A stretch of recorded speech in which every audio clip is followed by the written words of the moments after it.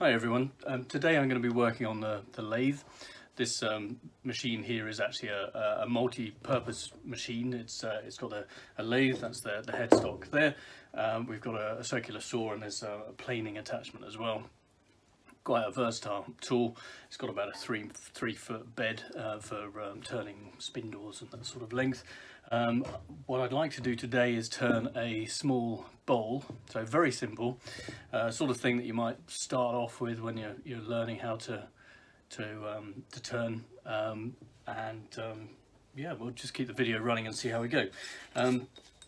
This lathe is one I picked up uh, secondhand. It was about £100. Uh, someone that uh, was moving house and uh, didn't want to take it with them.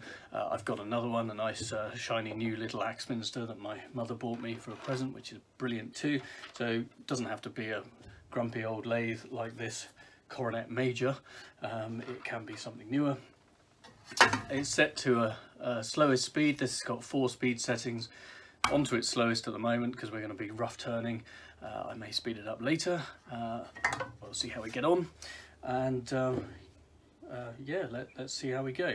Um, health and safety. Uh, I am doing my own risk assessments for this. I've used this machine before.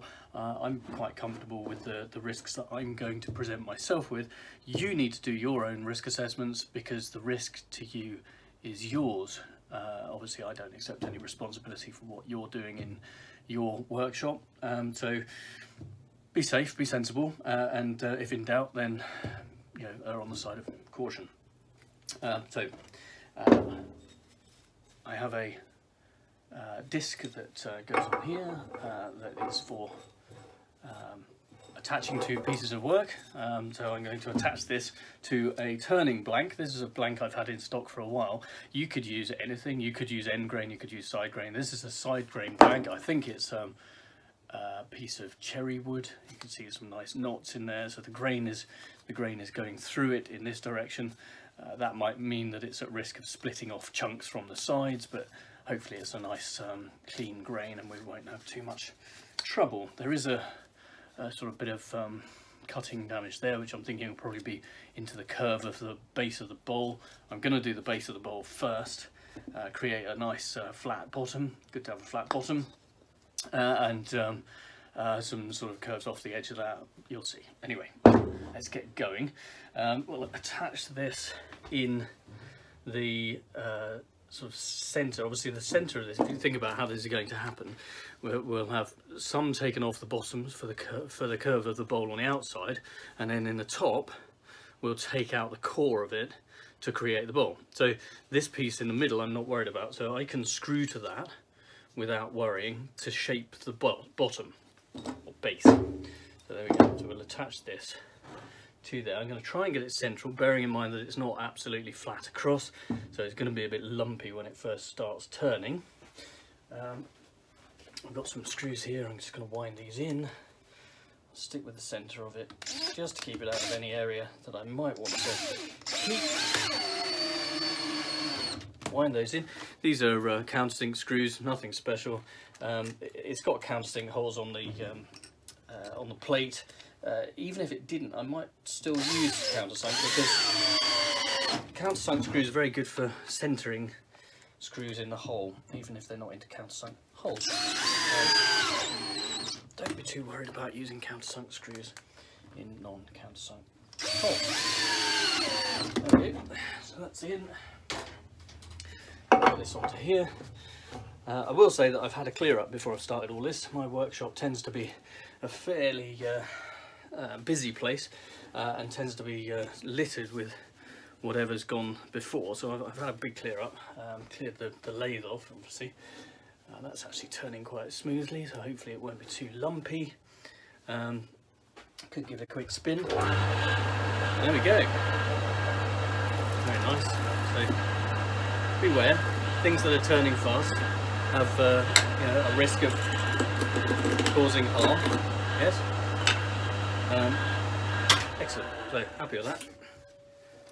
Ooh, nice ring from the saw blade there as it slows down, stops. Um, so this is a, a movable um, rest for, for tools. So I've got various tools under here, um, such as this, such as uh, uh, some uh, uh, gouges. So I can rest my gouge onto, onto the uh, stock at, at, the appropriate height. What we have to do is uh, obviously adjust the stock with a spanner. there's a, a, a nice little nut under here that allows this to be loosened and we can then move this around, clear dust out. That can be put wherever it needs to go, uh, at whatever angle. If we can get it back together. Oh, come on. There she goes. So I'm going to set that somewhere about there. The idea with this is we get pretty close to this, but but we don't want it to hit. There we go. Somewhere about there. Tighten it down. This part obviously comes up and down and can twist around. So well, ooh, that's interesting. The lathe bed only has a certain amount of depth, so there's a certain limit to the diameter of thing you can put between the bed and the sort of the radius between the center and, and the base on this is somewhere around 115 millimeters, not very big. What you can do with this machine is actually turn the whole headstock round so it faces away and you can then turn much bigger things using a, a, a uh, rest off this piece that's sticking out, which is great, um, but you can't use a tailstock on it. Would be good if I wanted to do a big bolt. I'm not doing a big bolt, I'm going to manage with this today, so let's just bring this in a piece at a time so I can get it all the way across it. I'm going to bring it into there, tighten it off. Uh, I'm going to raise this up to about here just so that it's a few millimeters off. Just check that it's not hitting which is not that's all tight. Hopefully. Start it up. Seems to have starting problems. This uh, lathe a bit like my car. Not to worry. So I'm going to introduce this at a slight angle. You can see the angle of the um, the, the gouge uh, on the, the steel there uh, that is going to be similar to here. If I rest it so that the blade is lifted away from it, it'll just touch and nothing will happen. As I bring it in, it'll start to cut. There we go, that's where it's starting to cut. So I'm going to rest, I'm going to hold the back of this firmly with my hand here, not grip hard, but firmly so it can't, can't come out. Just wrapping my fingers around it a bit. And the top I'm going to be pressing down against the rest. I'm just going to work my way along, taking off a small amount, pressing down fairly hard, but I'm not pressing into the wood very hard. I'm just taking off a small amount there. You will hear it when it starts to dig in more.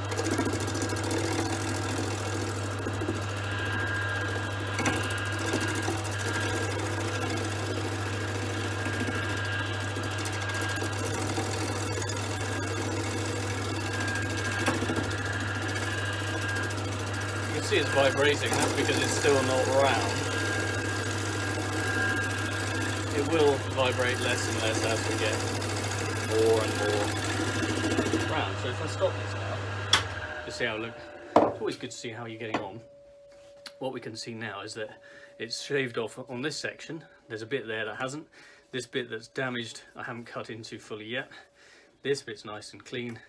So what I'm trying to do here is get to a point where it's clean all the way round uh, and that way I've got a, a, cylinder, a, a cylinder that is uh, symmetrical. What I also need to do is take the end off flat so that the two ends are parallel. That way I can mount it onto this end from the base once I've finished the base uh, and turn out the middle. So let's keep going.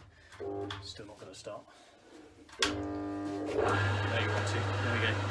Uh, let's try out different gouge. Nice, uh, nice big one here. Oh yeah, okay. Oh.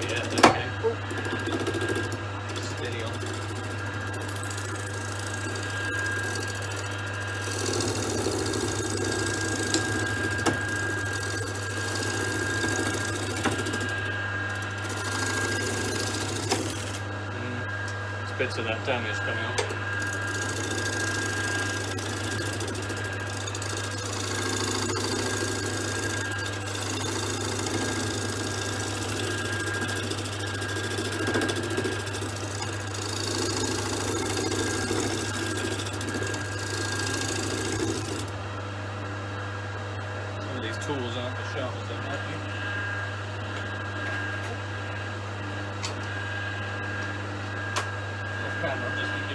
whiz on the spot on the grind Eventually falling off.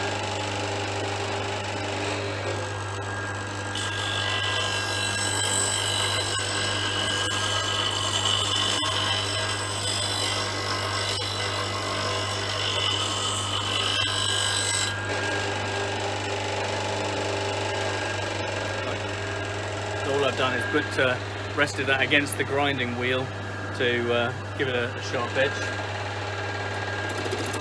Oh yeah, that's, that's much better.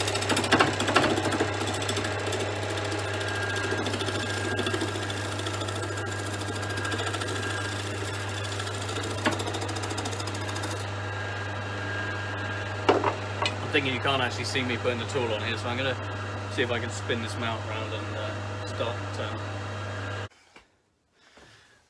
Okay, so I've moved you across. Um, you can now, hopefully you can see into here, you can see where the, the blade's going to be touching the, the wood from the tort.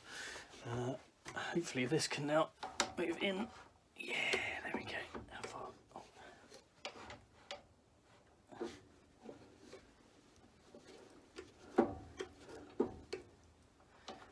Okay, that's it there. Let's just move that slightly off there. There we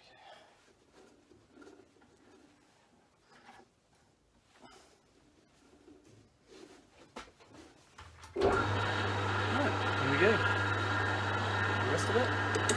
Whoop. In your face, Steve.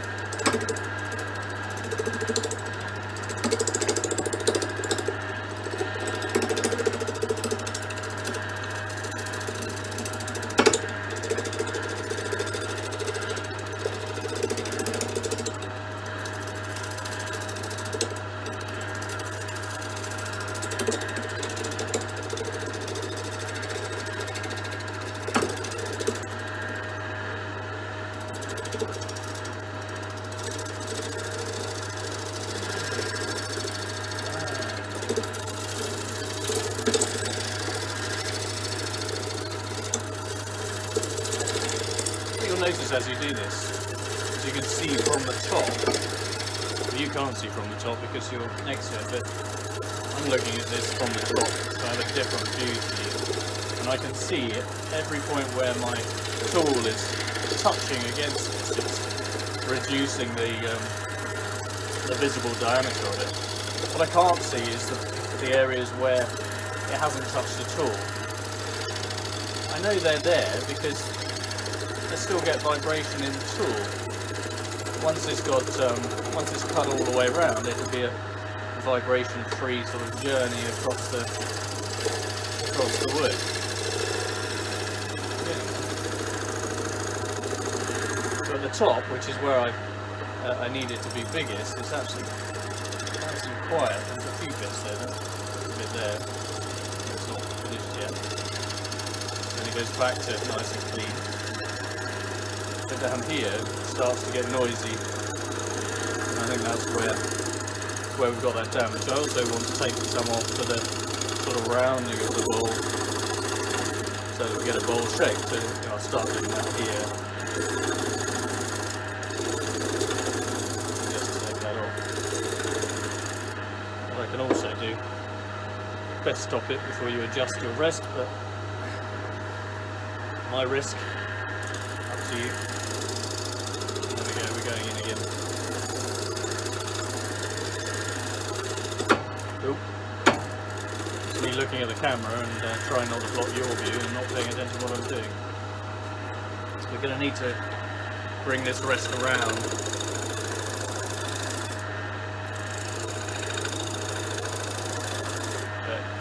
Before I do, let's just turn it down a bit more. See if we can get start getting a bit of a bold shape here.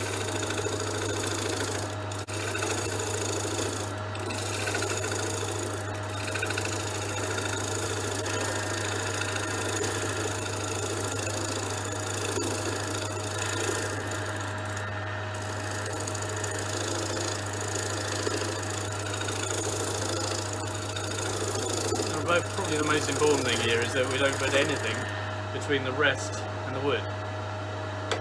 Other eh, nothing of me is ever forward of that point. I'm always behind it. It's only the tool that's forward of it. It's only the tool in the wood that can do anything at all. Not my fingers. I like my fingers. Try and keep them attached. Cold. Right, let's shut this off and see how we do. Also important when you're turning something takes a long time, make sure you've got some crisps to hand. Chipsticks are fantastic, but other varieties are available. yeah. All right, we've got a nice bit of knot on this. Hmm, interesting grain. And here you can see that. That's an area of wax that from the old blank, where I still haven't managed to turn it down. So I need to go through this, make it smaller. And uh, so I'll keep carrying on. Here we go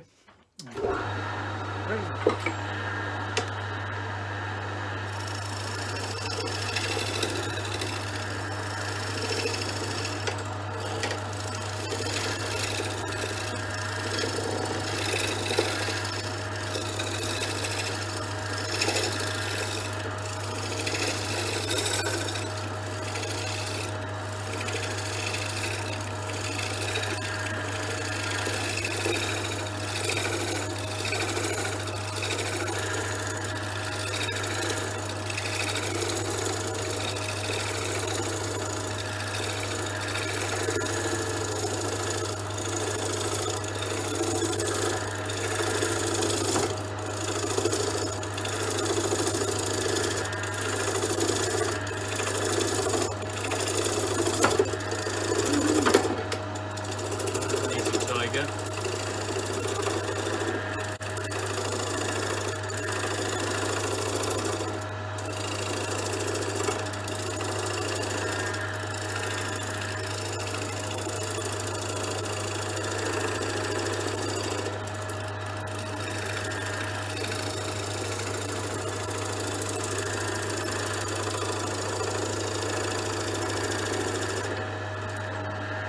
Right, another quick look. Right, that's all gone now. Do have a bit of um, splitting off of the grain there. It's, uh, it's catching on the um, tool, so we'll, we'll spin it up faster and see if it helps with that. Before I do, I'm just going to pull this round and do the base. Get that fairly square. Obviously we need the, um, when we do the base, it's got to sit flat. So what we don't want is the middle sticking out further than the rim. When it sits on the, uh, on, what, on a you know, shelf or wherever it goes, it needs to be uh, have a ring that contacts the, the floor or a, an absolutely flat base, of course, which is probably unachievable. I've got stuff here. You will find you've got a build up of sawdust. Very useful if you need sawdust shavings rather. Um, chuck them on fire if you've got a fire. Um, so that's flat. Take that in a bit further. So I'm leaving about uh, three or four millimeters, I suppose. Something like that. There we go. That's clear of everything. Just make sure that nothing is going to hit. And off, off we go. Sure that the gouge is going to be particularly good on this, there we go.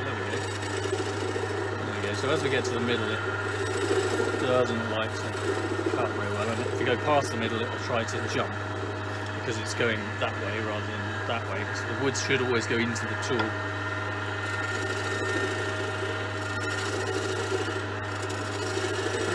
Always using nice sharp tools. This. Ooh. See these bits of wood spinning off, it's lovely. Let's do this nice and gentle, there's something caught there.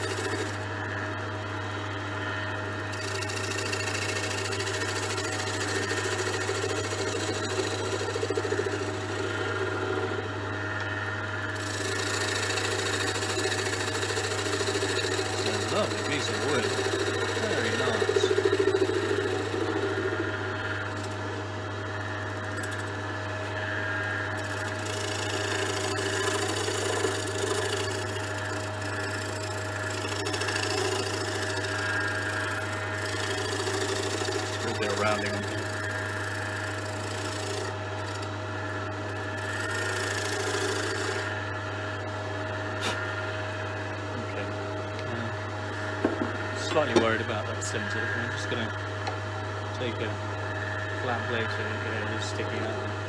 Take that in. Just make sure I've got it.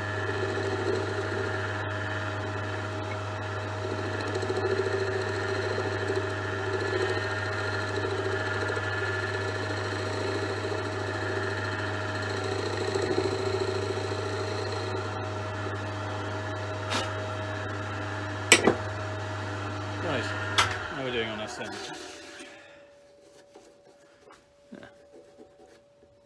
Yeah. Blade made a mess. That's a shame. Or maybe that was my gouge sticking in. Nice, this uh, grain is lovely. What I might do is spin this up a bit faster and try and get this outside looking a bit a bit nicer with some speed. Uh, speed tends to make things cut very small amounts very quickly. So it tends to lead to a much finer finish. It's sort of finishing rather than roughing. Roughing being the term for sort of roughly cutting something. So uh, got to eat the chipsticks. Mm. Amazing.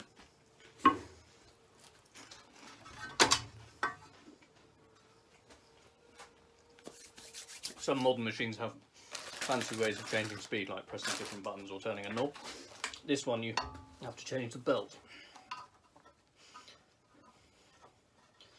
I'm going to whack this up pretty fast. And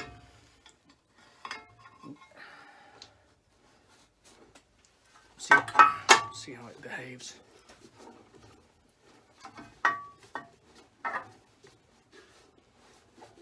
And it's getting a bit closer as well.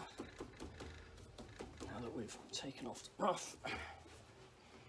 Hopefully I can sort of kind of go back over the area I've done before. Why is that just turning and turning? Oh, there we go. We there? I there. Odd. Hmm. Right, this might go very fast. Or not at.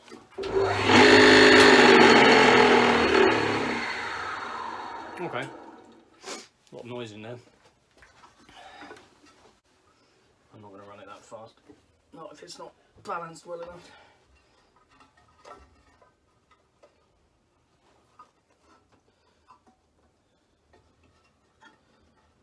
There's a lot of noise there. Let's take it to not back to full slow, but a bit quicker. No noise. Okay. It's nice to nice to have things quiet. Right. Family motto. He who does nothing makes nothing. Or my personal preference, he who does nothing makes no mistakes. We all make mistakes. Learn from them. That's the important thing. Learn from them. If you don't do things, if you don't do anything, you'll never make any mistakes, but you'll never learn anything either. Uh, Making mistakes is absolutely normal and it's absolutely fine. Unless you're a brain surgeon. But then still it's fine, but you do it in, uh, you do your learning in ways that won't harm people. But yeah. Oh, nice. This is nice. Okay. Spin this round. Oop. Right, here we go again.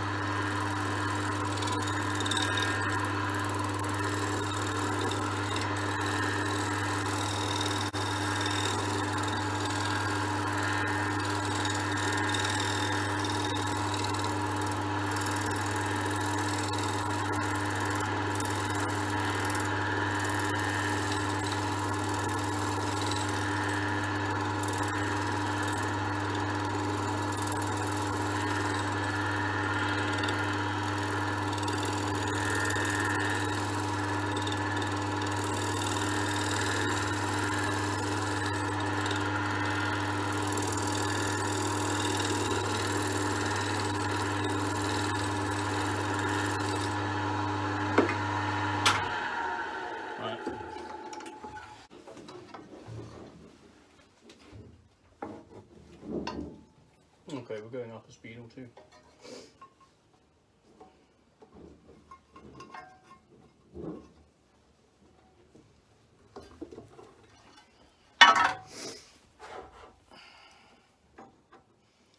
See if I can get this thing a bit smoother.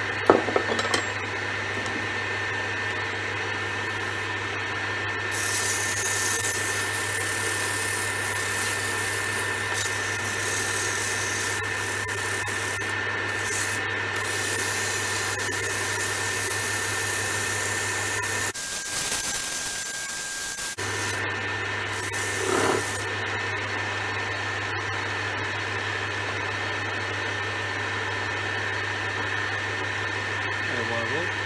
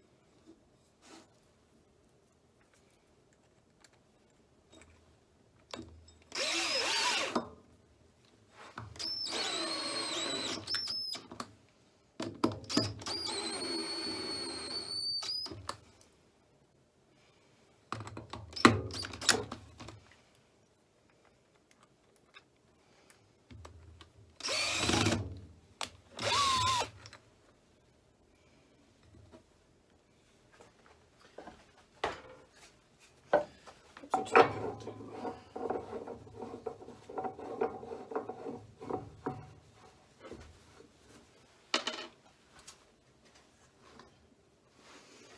Right, I'm going to rough it on the inside, see how we get on with that.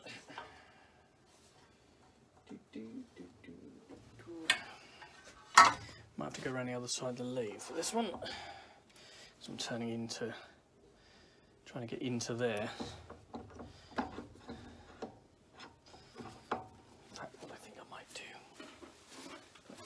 Spanner under all this. Spin this round. Right round, like a record baby. Right round, round, round. So we're coming in. It's going to be in a bloody way, isn't it?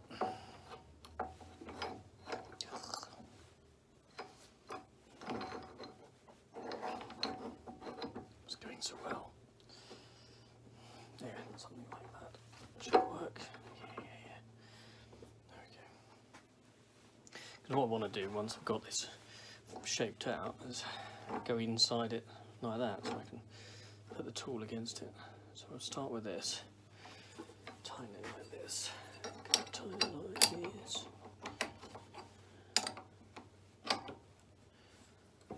Let's see how we get on.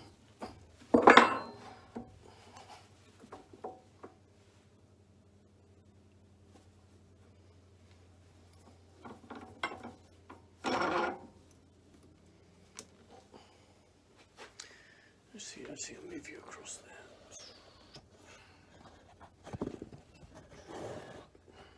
Okay, perfect. All good. All good. So what we're doing is coming at it from over here. Challenging if you're not over there yourself. So there's some stuff over the way. Make it a bit clearer. Oh Hey.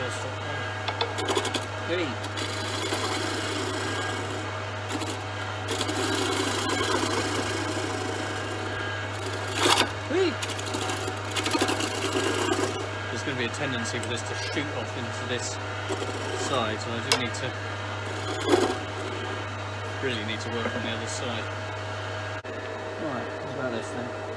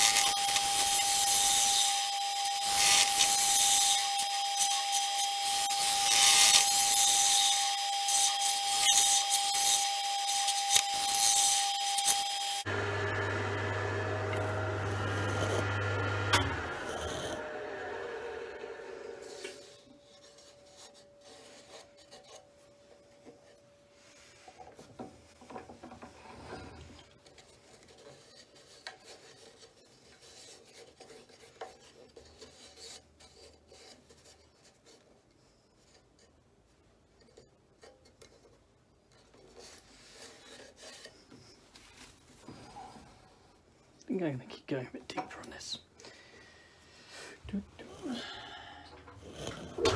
It's taken a while, but it'll be worth it.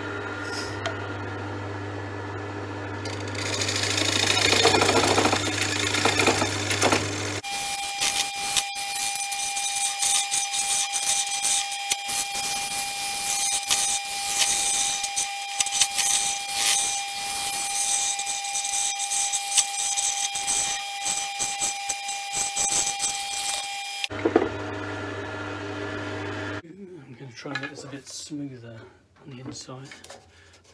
Um, might be a challenge. We shall see.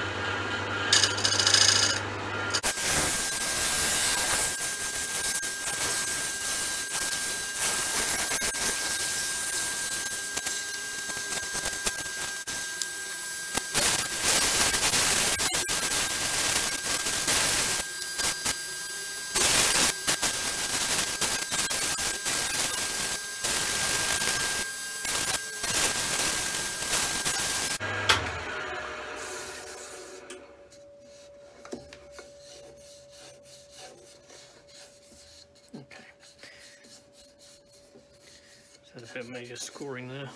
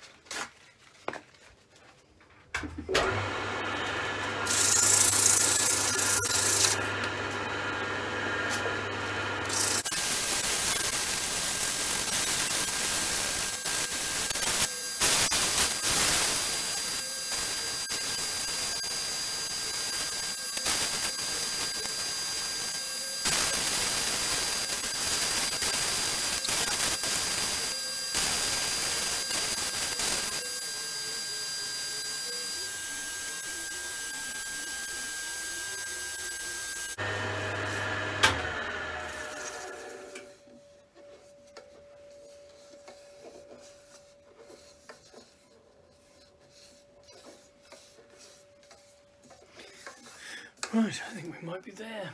What I'm going to do is get some um, olive oil and put on this just to tone it down. Just go into the house and get some.